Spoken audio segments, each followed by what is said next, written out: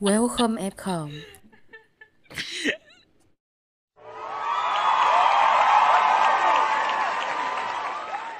Chào các bạn đến với ngày đầu tiên của F0 Rất nha. là nhiều cung bậc cảm xúc trong ngày hôm nay các bạn à Vẫn uống thuốc nha. Vẫn làm việc bình thường như mọi ngày. Vẫn giữ thói quen sinh hoạt bình thường. Giai đoạn này ăn uống điều độ hơn mọi khi. Không quên một việc quan trọng nữa đó là xong mỗi ngày không biết mọi người như thế nào chứ like thì ho, đau họng và rất là tức ngực Thi thoảng sốt ở nhiệt độ là 39 độ Tuy nhiên vẫn giữ tinh thần lạc quan nha các bạn ạ. À.